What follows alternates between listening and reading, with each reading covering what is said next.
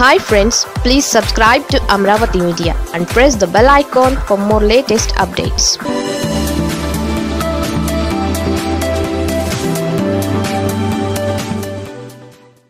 ఆ లెక్క వేరు ఈ లెక్క వేరు. ఇది మన మీడియా తీరు.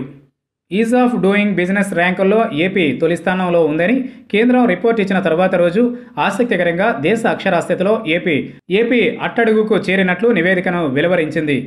ఈజ్ ఆఫ్ డూయింగ్ తొలి ర్యాంక్ చంద్రబాబు ఘనతేనని చాటుకున్న ఎల్లో మీడియా అక్షరాస్యత విషయానికి వస్తే చంద్రబాబు పాలనపై ఎక్కడ మరకలు అంటుకుంటాయోనని ముందు జాగ్రత్త తీసుకుంది.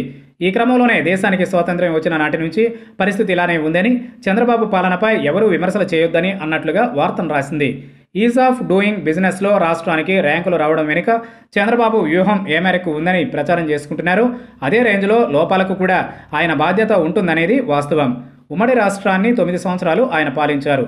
అదే సమయంలో విభజన తర్వాత కూడా ఏపీని పూర్తిగా ఐదేళ్ళు చంద్రబాబు ఏలారు. అక్షరాస్యత అంశం అనేది ప్రతి ఏటా కేంద్ర ప్రభుత్వం వెల్లడించేదే. లేదా తాను ఆ పని చేయాలని భావిస్తే ఈ విషయం చంద్రబాబు తెలుసుకునేందుకు పెద్దగా సమయం కూడా పట్టదు. ఆన్లైన్లో వెతికినా లేదా అధికారులను అడిగినా వారైనా తెచ్చి పెడతారు కానీ అక్షరాస్యత విషయంలో గడిచిన తొమ్మిది సంవత్సరాలు తర్వాత ఇటీవల వరకు గడిచిన ఐదేళ్ళు కూడా చంద్రబాబు పట్టించుకోలేదు.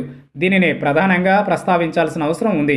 స్వాతంత్ర్యం వచ్చిన నాటి నుంచి ఇదే పరిస్థితి అంటూ రాసుకురావడం వెనుక ఖచ్చితంగా చంద్రబాబును రక్షించే ప్రక్రియ దాగి ఉందనేది స్పష్టంగా కనిపిస్తుందని అంటున్నారు పరిశీలకులు. పాలనలో మెరుపులు మెరిపించానని పదే పదే చెప్పుకొచ్చే చంద్రబాబు ఈ విషయంలో ఎందుకు విఫలమయ్యారో వివరించి ఉంటే నిజమైన పాత్రికేయ విలువలకు ప్రాధాన్యం ఇచ్చినట్లు ఉండేది.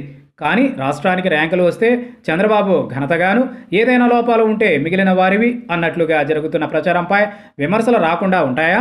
అదే ఇప్పుడు జరుగుతోంది.